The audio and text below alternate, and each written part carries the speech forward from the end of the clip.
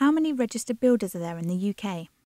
There are probably about over 20,000 registered builders out of a total of 175,000 building companies in the UK, and of those, 13,000 are registered with the FMB.